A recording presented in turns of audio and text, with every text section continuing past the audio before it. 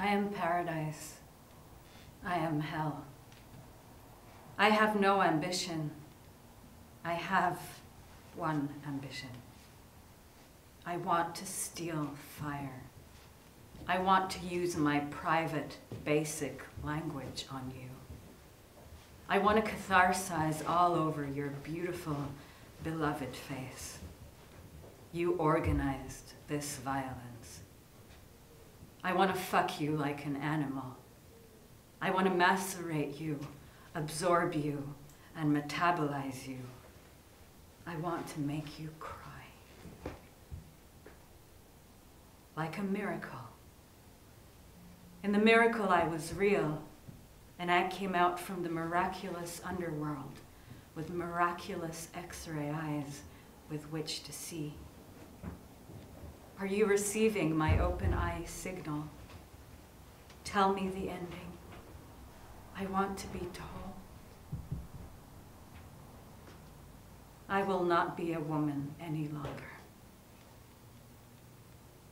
John Kramer grabbed my arm, running up the terrazzo stairway between biology and history, and pushed his knee between my thighs. Girls like you get into trouble he said. Pushing through history, through biology, to create a vector to spin completely out of control on, a gash for us all to lull complacently, to luxuriate in a basin of unendingly replenished, absorbing viscera at its bottom. A point of reference, a coordinate for a base meta-level algorithm that will both determine the excavation site for genomic data and inform the enactment conditions for the AlgaeaLux 2. They are sophisticated, non-monotonic logic, therapeutic AI that self-generates empathy faculties from simulating both typical and exceptional trauma narratives. Daytime.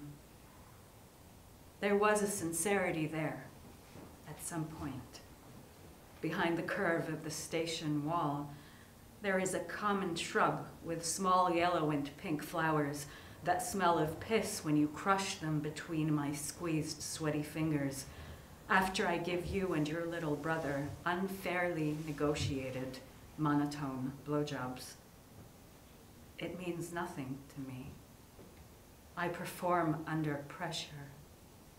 To me, your organs are dismembered Frankensteinian, bleeding, dying brutes. I will not use your language again. Many years later, I sent a letter to your childhood address. I wrote to tell you that I got hit by a truck. It was true. I broke my hand in two places. I didn't make a big deal of it. I told you that it was my right hand. It was just so you know that I was able to be delicate. My body could be broken. And it was context to announce that I was still masturbating with this hand held tight in a flesh tone splint, even though it was broken and it hurt badly, particularly when I was about to come, and had to move it faster and harder to keep up with my looming climax. I wanted to tell you about my masturbation to show you I was free and desirous. That where I maybe lacked the looks that you felt so entitled to, I would make up for in promiscuity and a bottomless eagerness to please them all. And also I wanted you to know that I was extremely tough tough enough to endure your violence, not afraid of pain in the search for your pleasure, and that I obediently extended this invitation to be destroyed to you, that I granted you unreserved access to obliterate my humanity. Say something. Sometimes I hate myself. In the topological excitatory simulation process, the subject gets up, runs, falls to the floor, crashing heavily into the wooden floor, which erupts into a starburst of splinters. Then she gets up and performs the sequence repeatedly, getting more and more disfigured, more and more bloody, pulpy, and unidentifiable. It is you, my love, you who are the stranger. It is she, my love, she who is the stranger. A purple ohm printed on a tiny square of paper. In the velvet cradle of night. In a borrowed car. Candy wrappers twirled and a baroque vision on the passenger seat. We marveled mutely at the conquest evaporating bone and the flesh ladder, slapping sounds erupted, and the sharpness of this unwanted experience. From the car window, hurt fell away from us quickly with the speed and lightness of carried horizons as we traveled in a neon hieroglyphic encryption towards the namelessness of psychedelic emancipation. Then, in the erupting patterns. I saw the beasts of the higher order. I saw suspended seraphim coming towards me on acid, on fire, neon six winged and wild eyed, burning up from the knowledge of their distance from absolute divinity.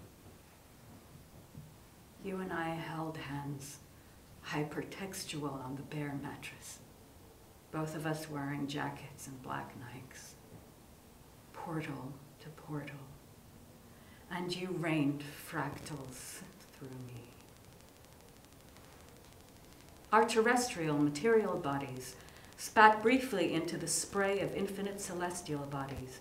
Our mortal bodies are capable of love and the pain of losing love, losing dignity, being humiliated, destroyed, which is where we reached our sudden and speechless end, where perishable, banal bodies and incomprehensible divine bodies extraordinarily touch in an immutable embrace, a long kiss, deoxygenated and marine, dispelled and star-like.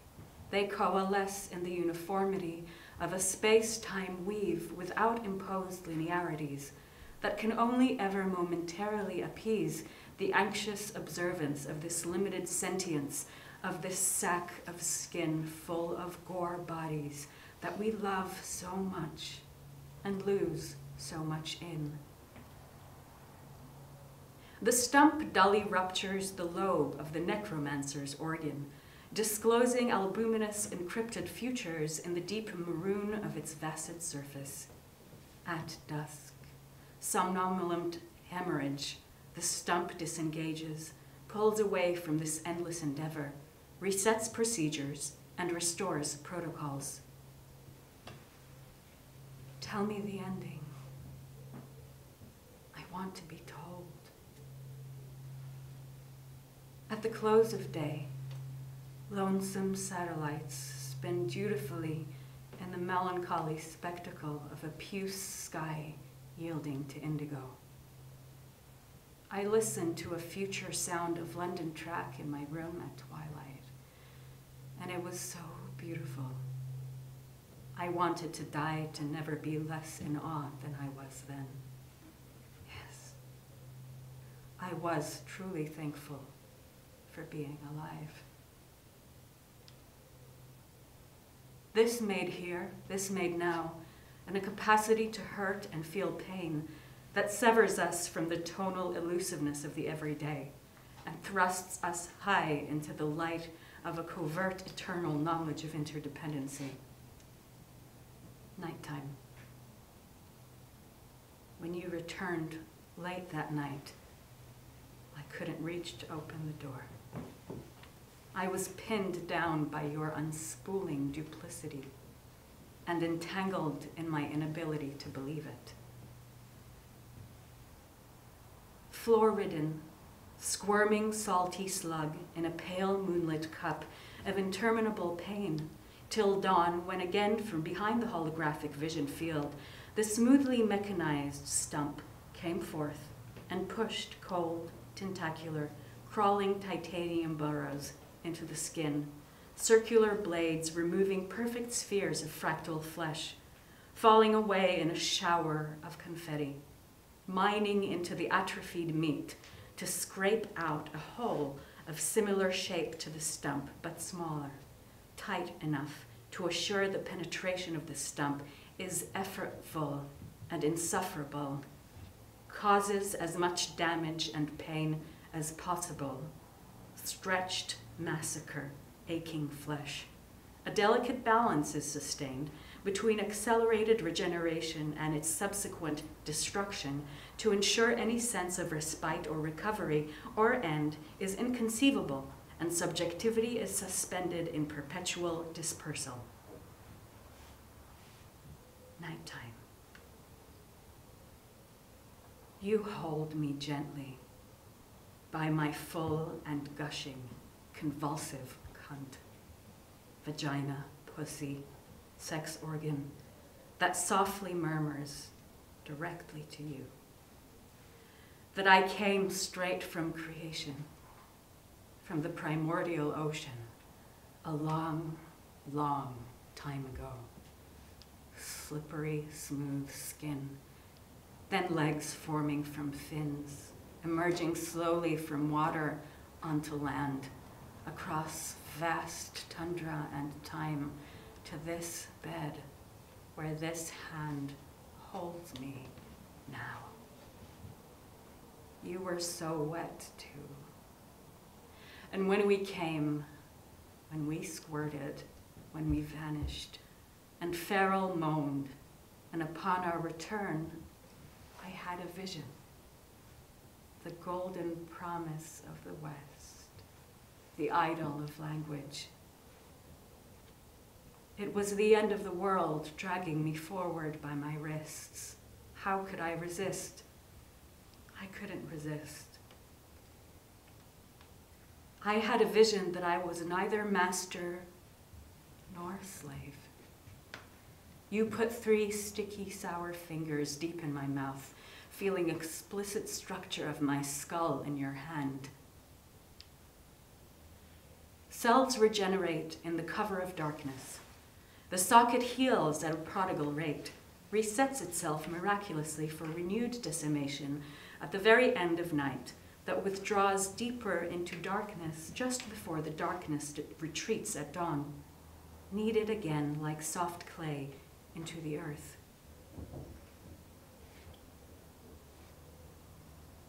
A tentacle snaking in the paradise of our childhood is a fever dream of our father fucking us in the ass in broad daylight on the Spanish Riviera on a brown leather couch. In luxury, in the study of a modernist building, with a green tiled pool and two sickly peacocks resting breathless in the garden. I would not know how to be sincere enough to independently communicate the details right now. I would not know how to invest wisely in language right now. I would not know how to backpedal from syntactic ambiguity right now. Organic research. Oh,